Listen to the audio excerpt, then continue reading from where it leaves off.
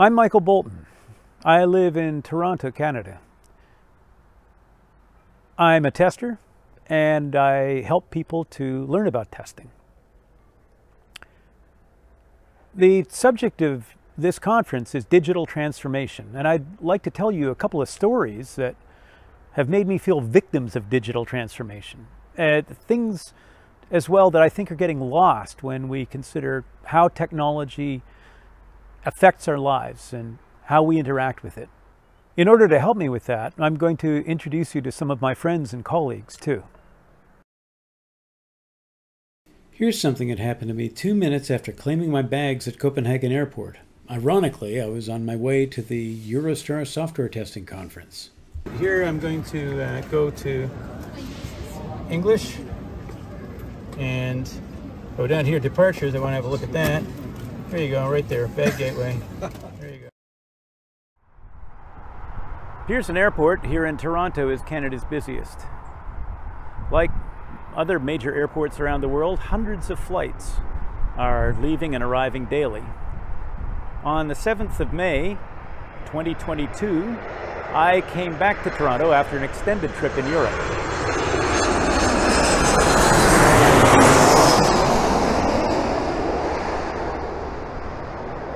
Part of the process of re-entering the country involves using the ArriveCan app, which is developed for processing of travelers' information and, among other things, checking their COVID status.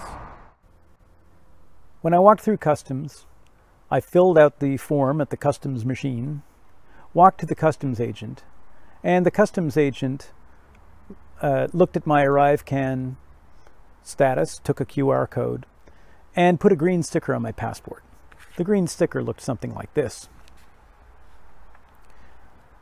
That indicated to me and to the other people at the airport that I could be passed through without being subjected to quarantine or a random COVID 19 test. A few days later, I received a phone call from a robot. The robot told me that my COVID test hadn't been submitted, hadn't been performed, that I was subject to a $750,000 fine, and it provided me with a phone number that I could call. When I called the phone number asking what I should do next, nobody knew the answer. They suggested that I go to the website. The website suggested that I call the phone number. The next person at the phone number suggested that I look at the website again. I went back and forth, not knowing how to interpret the message that I had received and not understanding what to do next. This put me into a bit of a panic because I had to travel to Switzerland on the following Saturday. I knew that my COVID status was as safe as it could be. I'd received three full vaccinations and had just received a fourth one, and I had caught COVID in March. And so it was very unlikely, it seemed to me, that I should be selected for a random COVID test at that point. Nonetheless, nobody was able to tell me what to do. So I got a test. I submitted it as quickly as possible and waited. Turns out there was a bug in all this. Of the people who use the ArriveCan app and who pass through customs, about 3% received these notifications that they should report for COVID tests or quarantine in error. After that story came out, other stories started coming out too. According to the Customs Agents Union, about a third of the people trying to cross the border had problems with the ArriveCan app. Some hadn't been aware the app was mandatory, or didn't have mobile phones that supported it. Others found the app too confusing, too unfriendly to the user, and so the customs officers had to provide tech support, which dramatically slowed things down. And medical people were saying that the app wasn't useful since the meaning of fully vaccinated wasn't up to date even without the app. Tai Xiaomei, my friend and colleague in China, reports similar experiences with software there. Uh, after three months of locking at home, and uh, yeah, where, uh, we can go out. And uh, um, many people, they have a lot of things to do, uh, to, some things related with some government government office. And I uh, I go to the police station, uh, police office at one day, and there is a long queue because many people go to there that long queue. And uh, uh, for uh, for every of us, if you want to enter the office, you must scan a QR code to uh, prove that you are a healthy person. Yeah. so, and uh, one woman, I found he was uh, uh, he was very angry and argue with the, the people there because uh, he uh, she doesn't know what reason uh, uh, she just cannot scan the QR code and it doesn't work. And even she uh, reinstalled the app and she doesn't work for her phone. And she called uh, a lot of different um, person try to solve her problem but no one can answer her. And i from a software perspective i know that is a bug because every other person for, uh, for other people that works but just for her i don't know what caused that bug but uh, okay, she has a problem and she cannot, she just cannot enter that office to do some business. And not just for this place. Actually, if she cannot solve this problem, she cannot do anything in any other place.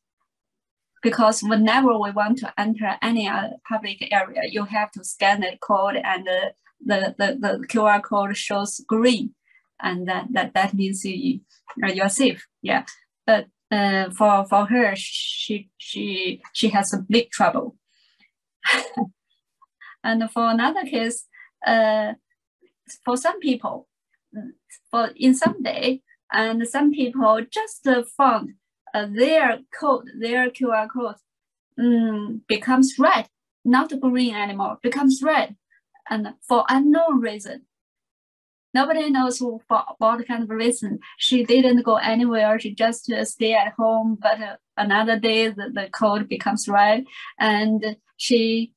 Uh, so many other, so she, her neighbors will think she, she was a dangerous person. so, so these kind of things, uh, a social uh, concerns, has some social concerns, uh, has a lot of impact a big impact to to the user, uh, and uh, uh, for for unknown reason. It all started with one little mistake, one error that it was completely easy for a civilian, a, a non-expert, somebody who's not in the business to make. You see, what happened was in Sweden, I lost my glasses. They fell out of my pocket, ironically, on a bike ride. My wife knew how to solve this problem. She was aware that I had a pair of spare glasses that she could send to me, and it would be very helpful for it to arrive overnight. So we went to FedEx, the company that in its advertising many years ago promised when it absolutely positively has to be there overnight. My wife, in good faith, filled out the valuation for the glasses. That is the replacement value. What she did not understand, and what anybody who's not in the shipping business wouldn't understand, is that the customs valuation and the value of the glasses for purchase and the value of the glasses for somebody who is using them, other than their user, are all different. The customs valuation of the glasses is essentially zero. They're not going to be resold. They're for my own personal purposes. The cost to replace the glasses is about $1,000 Canadian, maybe a little less than that. However, putting the $1,000 figure into the customs valuation triggered the software to report the wrong thing to the customs officers. I lost my glasses on a Monday. My wife sent the glasses on Tuesday. On Wednesday in Sweden, I received this message. Well, I can survive for three days without my glasses, but this is wonderful. The glasses are scheduled for delivery tomorrow. Then I got this message. Hi, it says. International clearance of your package has been delayed. Now, I looked on the page to see if there was anything that could help me understand what I needed to do. Oh, clearance instructions from the importer, I guess that's me, are required. The recommended action is the importer must provide instructions. Then no scheduled delivery date is available at this time. What do we see on this page that might suggest where I should look? Well, let's see. Oh, I can get status updates for one thing. Sc scroll down. Oh, but this isn't actually a status update. This is a form whereby I can submit an email address so that I can receive status updates when they're available. Let's see if there's anything else that might help me to find out what I should do, where I should go in order to provide those instructions. I looked around the FedEx site. I clicked for uh, delivery options, nothing available there. Scrolled up and down on the page. I searched in vain for some place that could help me understand what I needed to do to solve this problem. Oh, there's a button down here. I can click on that. It says Ask FedEx, except clicking on the button doesn't do a thing. So notice that except for the dead Ask FedEx button, it's not obvious that the software is failing to do something that its vendors or its builders intended it to do correctly. Let's think about that. There's a requirement to notify the user that additional instructions are required. There's a requirement to provide a means by which the user might receive status updates when there are status updates available. But maybe there is a requirement to link the user to somewhere where they can provide the information they need to provide, and maybe there's not such a requirement. The trouble is that the builders who are building this product are probably not experiencing the problems that the product is intended to solve. That's an important thing for testers to be able to do, to be able to identify the context in which the software is going to be used, the problems that the user is trying to solve, and whether the problem is being solved. As one of the principles of the context-driven software testing movement states, the product is a solution to a problem. And if the problem isn't solved, then the software doesn't work. So what happened next in the great FedEx delivery saga? FedEx was sent three emails. One came from Mary and two came from me on Friday. I called FedEx three times on Friday trying to find someone who could tell me what I needed to do in order to submit the additional instructions, whatever they were supposed to be. There were two more emails that came from me the following Monday. Of course, the offices to handle this kind of problem were closed on Saturday and Sunday. There were three more phone calls from me on Monday. One of them was a call in which I was promised that a supervisor would call me back within the half hour. I know the supervisor didn't call me back within the half hour. My phone log would have told me so. So that promised callback on Monday never happened.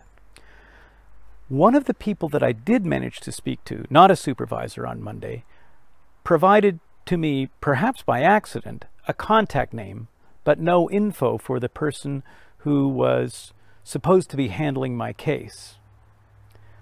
That prompted another email from me to FedEx on Tuesday, and at last, I got an email from a person at FedEx. Uh, I don't want to reveal her name to anybody in particular, so I'll call her Jay. Jay wants to see proof that I've entered Sweden. I'm sending this message from Sweden. I'm in Sweden. I wouldn't be complaining about not being able to get my glasses if I were not in Sweden. But Jay wants to see proof, or perhaps FedEx, or perhaps the customs clearance people want to see proof that I've entered Sweden. Jay also provided an explanation for the problems that I was seeing. Here's what she says. Hello, Michael. Apologies for the delay in getting back to you. Sweden is experiencing delay issues due to TNT and FedEx systems integration. TNT is another delivery service that FedEx merged with.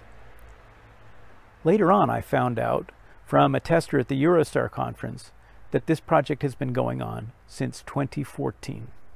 This is a kind of digital transformation that nobody could possibly be happy about. We're trying to do our best. Sorry again about this issue. And what happened after that? A bizarre letter from a department, not a person, but a department. When products are being sent from areas outside the EU into Sweden, oh, I won't read this. It's not interesting enough to read. Here's the interesting part. The person writing this mail offers the opportunity to call 08592 57999. Uh, that's the number for the import office in Stockholm for FedEx. I tried calling that number. I tried calling that number on my phone as an international call. Didn't work. I tried calling that number on a colleague's phone. That didn't work. I tried with the leading zero and without the leading zero. I asked over time three different people to call this number. The number was out of service in every case. And then, completely inexplicably, the day before I'm supposed to leave Sweden, my glasses arrive. I found out about this while I was on the phone to, I think at this point, the seventh person that I had contacted trying to get this problem addressed. Now, you might want to say, this is a fairly trivial problem and it got solved. So, is there any real business risk to FedEx? Yes, there is, because it's unlikely that I'm ever going to trust FedEx to deliver something to me again. It's not just the software, it's a whole system. And what I worry about is that software encourages the belief that human adaptability and human problem solving aren't important anymore. And that's a disease that I worry is spilling over into testing as well. So what is digital transformation anyway? I mean, when we look at the words, the words seem to be fairly straightforward. Digital refers to software, electronic systems. Transformation refers to development in some sense, some kind of change. Digital transformation? Maybe it's just software development. But I wanted to go a little bit deeper on that. So I looked around and I asked a few people. One of those people was Keith Klain. I'm Keith Klain. I've been working in software testing and quality for a little over 25 years uh, primarily in investment banking uh, with Barclays, UBS Investment Bank, uh, Citigroup, and most currently, I am the head of quality engineering and the financial services sector for the software testing services and quality engineering practice at KPMG UK. So tell me, Keith, what is digital transformation? Uh, I, I see it most frequently used as taking a part of the business that potentially wasn't digitized, right? Wasn't heavily use of of technology or is transitioning to a different type of technology or I think more fundamentally changing the way that operation works within the business through use of technology or changes to technology um, and, and, and transforming the way that business service or business line or operation is conducted maybe digital transformation is just a buzzword, a, a fad. When my colleague James Bach and I poked into it, we noticed using a Google Ngram viewer, a, a software tool, that the term digital transformation seems first to have been uttered in this context in 1958 or so. For some reason, in 2014, we saw a big increase in mentions of the term digital transformation, while a kind of equivalent, business process reengineering, plummeted. Why are we hearing so much about it lately? I think part of it is marketing, right? Um, you know, and, and I think there's my my realm in banking, right? The rise of kind of money moving from investment banks to hedge funds to private equity, the investment in fintechs, right, is enormous. So you've seen those from small startups. You've got you know, Barclays has one, uh, JP Morgan has one, their own investment funds primarily focused on fintechs, right? And that's a very disruptive segment of the financial services uh, uh, uh, business. And so some of that gets packaged under digital transformation, where we're trying to disrupt the payments industry, right? Where you know there's smaller companies that get bought up, or the technology is bought up and deployed, and large companies like you know First Data and Fiserv, their merger, it was a lot of that was kind of combining some of that fintech technology in there. Uh, the payments business you know that's a huge area where there's lots of disruption going on which you could package as either change or you could call it disruption or you could call it transformation whichever lens you're looking at it. So i think from from from my uh my perspective a lot of it has to do with you know some marketing but also what segments you're in and, and what change is happening there at the time. Would you say there's a digital transformation going on in testing I think there's people trying to make it look like there's a digital transformation happen in testing, but uh, what I tend to experience with a lot of stuff is it's just kind of more of the same. okay, as in the testing industry, you know, it, it, it moves like this really, really, really fast but doesn't go this way very, much in my experience over the last 25 years. So there's lots of movement being mistaken for action around this kind of testing transformation piece. Here's the sort of thing that seems to happen to me all the time. I was doing some research for this talk and I wanted to see if digital transformation meant something different in China than it did in the West. So a quick search found me this article on Xinhua, so I decided that I might look for more. When I did, this is the result that came back.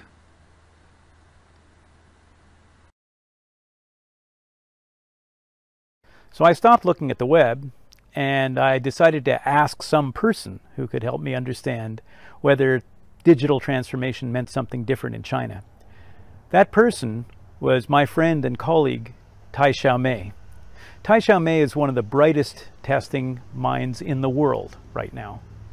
Uh, in fact, I um, uh, my organization, this product line is just called the uh, digital transformation product line because our product line uh, uh, they develop softwares uh, for for our internal customers for this whole company. So different businesses areas. Uh, traditionally, the businesses will uh, happen offline, but now they uh, develop softwares uh, to uh, record uh, the everything online. So you can choose. you have traceability. you, you can you can uh, you have some records, data record, the business record, procedure record. Uh, so everything happened in the actual world. Now you can see that in uh, the digital world. So they just move everything happening in the physical world, and now you can see that in digital world. So I told you the story about all the problems that I had getting my glasses uh, through FedEx, which seemed to be related in some way to big problems doing a digital transformation where they're trying to integrate these uh, systems. Are you seeing the same kinds of problems in China with big projects like that? I think uh, in traditional industries, many of the traditional industries, they are struggling in the first step from offline to offline and uh, a lot of issues the segregation between systems, the data are uh, broken data, data data broken, are incomplete, and uh, uh, separate like that. Uh, so people are struggling in, in that situation, and uh, for testers, uh, also a nightmare. the, the testers they they have low efficient test environment. Testers do not understand the systems very well, uh, and the testers can uh, uh, don't know how to test um, from the perspective of usage scenarios. They uh, they don't consider the social issues like that. They only test from the very single personality functionality perspective. So all of these things happen in digital transformation in China now. Many years ago, I met a fellow named Mark Federman. Unfortunately, Mark's audio is a little bit hard to hear. I'm sorry about that. It was a hardware problem. I'm Mark Federman, a coach, helping people and organizations transform at critical times in their respective lives. I do that as a uh, adjunct professor at several universities.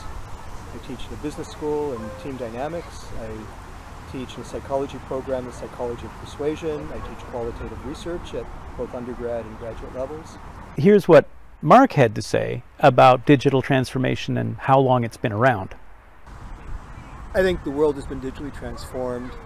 Uh, and it happened arguably 30 years ago um, when as a society we hit the break boundary as Marshall McLuhan would call it of instantaneous multi-way uh, electric communication uh, becoming noticed by everybody.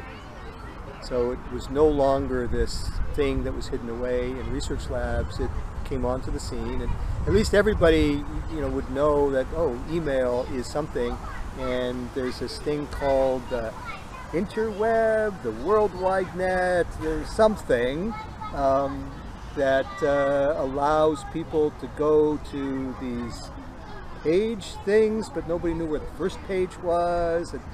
It was all very new and it was all something that the general public were talking about and became aware of.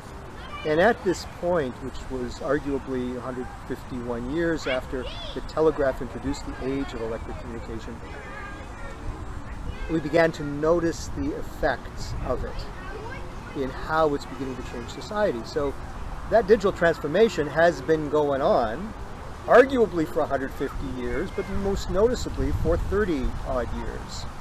And here we are in 2022, where nobody thinks twice about how the digital world has transformed everything we do until, like electricity, when the power goes out, Rogers goes down, right? Canada's one of Canada's major telecoms goes off the air for a day and all hell breaks loose.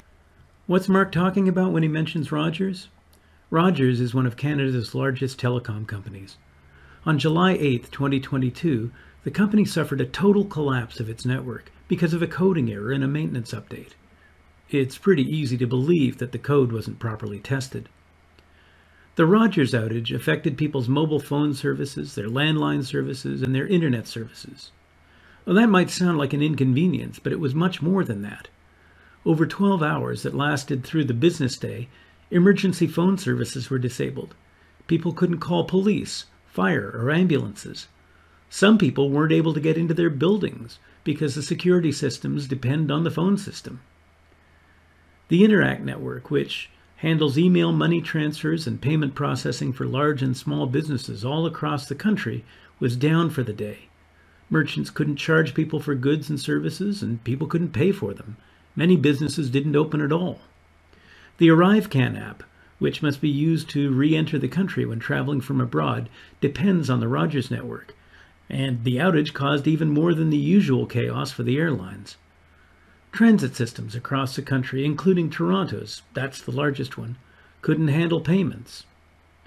The most ironic part was that Rogers employees themselves couldn't communicate with each other to fix the problem unless they were able to get handsets or SIM cards from other Canadian telecom providers.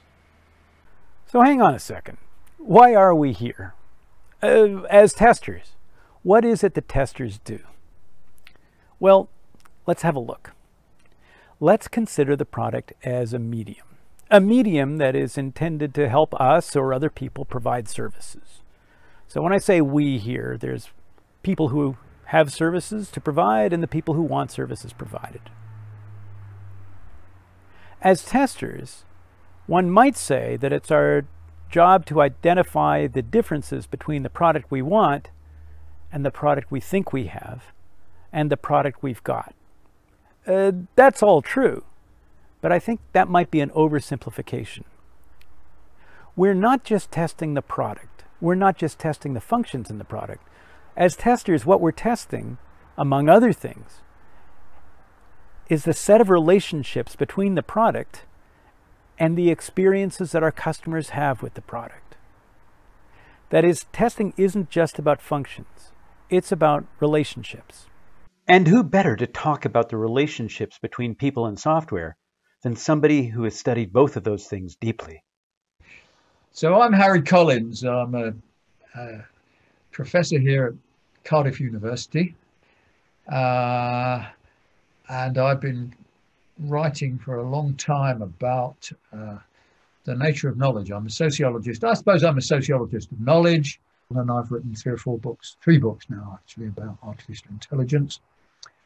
Um, and various papers about computers and knowledge. And uh, pleased to see that you guys like quite like what I, you know, my work because it fits with the sorts of things that you're trying to say as well. Um, well, the first bit's easy anyway. The fact is that uh, computers are mechanical objects. They're like cars or sets of cogs or something like that. In fact, the first one was uh, literally a set of cogs, wasn't it? Uh, the um, the Babbage machine was all brass wheels and cogs and so on and so forth.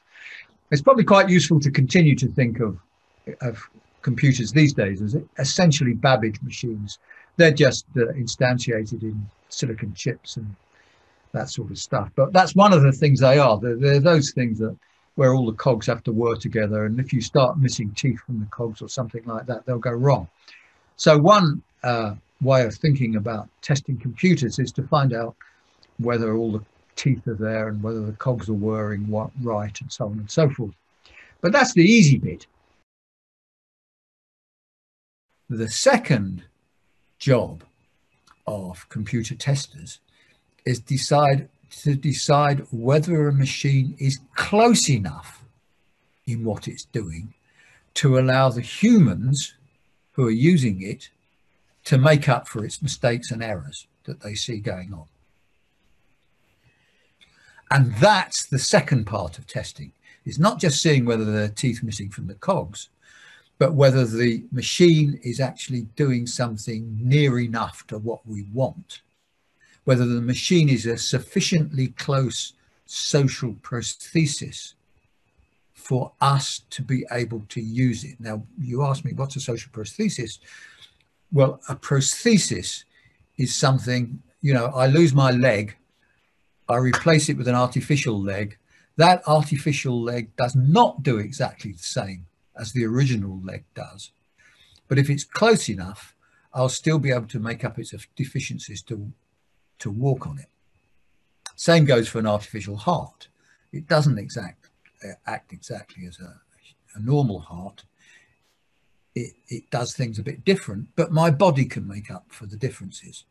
And so the part of the second part of testing is to decide, is this thing near enough for the humans to make up for the deficiencies of the prosthesis, the differences in the way the prosthesis acts to the way a human act would act in those circumstances. In rapid software testing, we say that testing is evaluating a product by learning about it through experiencing, exploring, and experimenting, with a special focus on discovering problems that matter to our clients and to their clients. Checking, by contrast, is the process of operating and observing a product using explicit procedures and then applying decision rules to the observations that we're making as the product is running and relaying the outcome of those decision rules to a human who can interpret and evaluate what has happened. Checking is a way of checking the output of a product, checking the functions in a product, checking the behavior of a product. But notice that checking is only part of testing. A check is the part of a test that can be automated. We can do this algorithmically, mechanistically. Now, of course, it's possible for a human to make exactly the same kind of evaluations. And it's true that humans make those evaluations much more slowly and uh, uh, sometimes less reliably. On the other hand, a check only checks what humans have instructed it to check. A check can, at least in principle, be programmed to be performed by a machine. A check is a form of instrumented testing. Testing is instrumented to the degree that some intervening medium alters the tester's encounter with the product compared to that of some contemplated user. For the last 25 years, people have been touting digital transformations in testing. Digital transformation for testing always seems to involve putting media in between our experience of the product we've got and the product that we think we have, and other media in between the product we think we have and the experiences that our customers have. I see that as something worth worrying about. We don't want our testing to be over instrumented. Building and checking the product is profoundly different from experiencing it. In the rush to continuous integration and continuous deployment, one of the things that we're doing is we are paying more attention to the building and checking of the product and less attention to the actual experiencing of it. And those things are profoundly different. Checks do not automatically let us know about confusion that a user might experience, impatience that a user might experience, frustration that people might experience. And that's why it's important for us to think not in terms of manual testing, but experiential testing. Testing from the perspective of somebody who's going to be interacting with the software and presumably trying to solve problems with it. So what's experiential testing? Testing is experiential to the degree that the tester's encounter with the product is practically indistinguishable from that of the contemplated user. Testing is interactive to the degree that the tester is present and engaged to attend and observe and operate the product directly.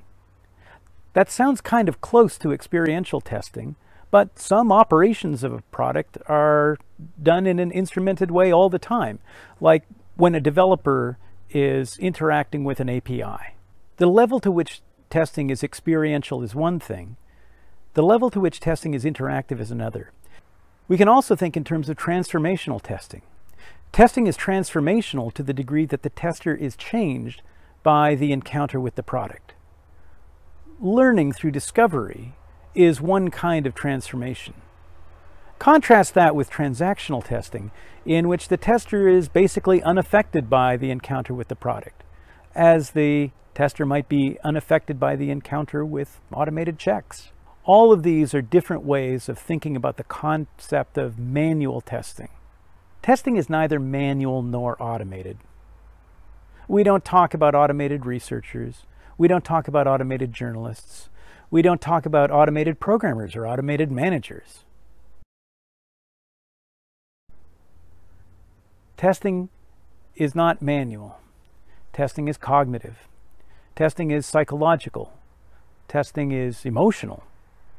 Testing is investigative. Testing is all about discovery.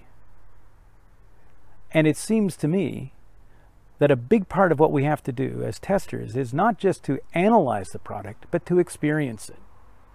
In other words, consider using the damned thing.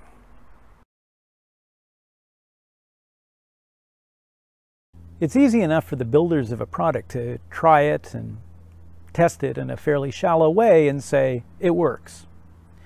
It's our job as testers to recognize that we've got to look for deep, intermittent, rare, subtle, hidden problems that are emergent, problems that aren't immediately obvious from the putting together of presumably reliable components, because sometimes those components interact in ways that are surprising or erroneous.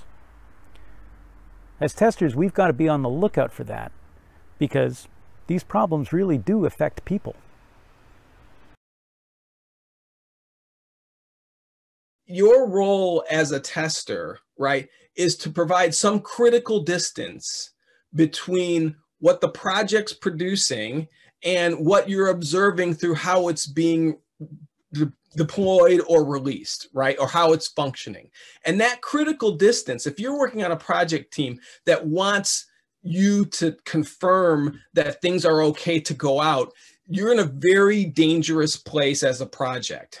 And a big chunk of the value we provide is that critical distance, right? Somebody's got to do it. And that can't be provided through automation because that's just only going to tell us things we already know.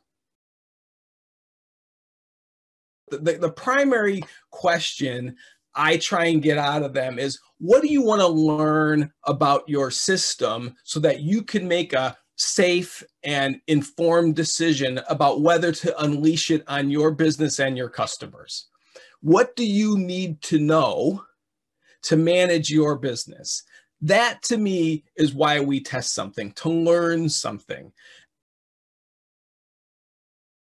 You, you need to think uh, beyond software you need to think beyond software, uh, such as the social concerns, uh, interaction with some other systems like that. Uh, if you if you only test from the software functionality perspective, um, you can never think of, uh, you can never imagine how uh, serious effect that the dysfunctionality of software can cause. The next frontier, I think, for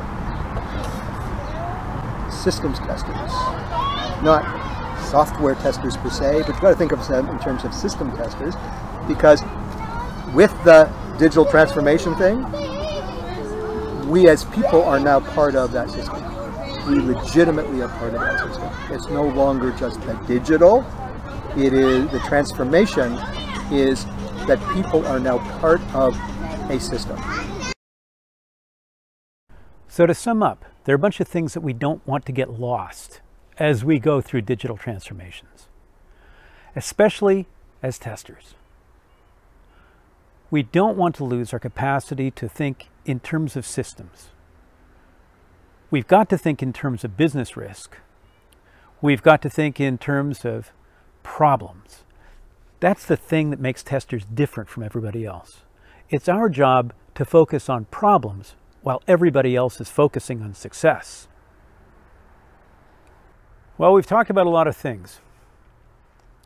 At this point, I'd like to offer you something that could help you right away in terms of organizing and strategizing your testing. It starts with four questions. And these questions can be asked whether you're interacting with a product directly, testing it experientially, or designing tests, or whether you're in a planning meeting. Question one What are we building? Question two Who are we building it for? Question three What could go wrong? That's the tester question. Question four How would we know? That's the testability question. You can add some modifiers to those things too. You can say, what else are we building? Who else are we building it for? What else could go wrong? And how else would we know?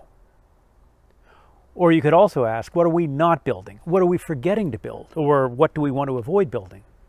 Who are we not building it for? Who are we forgetting? Or who are we trying to avoid giving access to the system, like hackers? Such that we don't want them to use the system. What could not go wrong? Well, that's a funny sounding question, but if we raise it, maybe we'll consider the possibility of things that would surprise us by going wrong, that we didn't think could go wrong.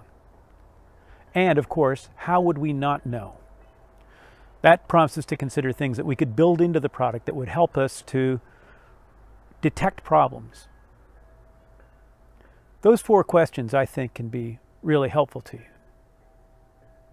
So, happy testing.